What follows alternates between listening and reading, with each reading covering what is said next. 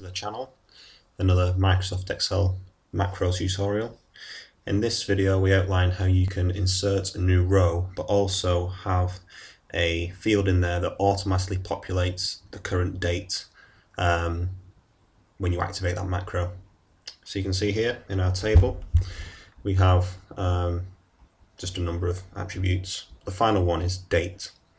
So our command button's over here when we press this, it will insert a new row, but in the newly created field under date, it will also populate it with the date that we activated that.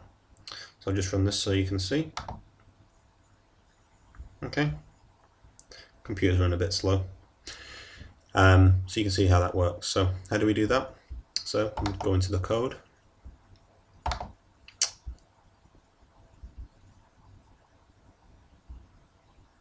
Okay.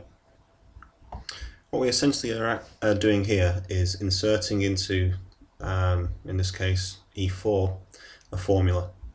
So very similar to one of the previous demonstrations we've done. This is the code here.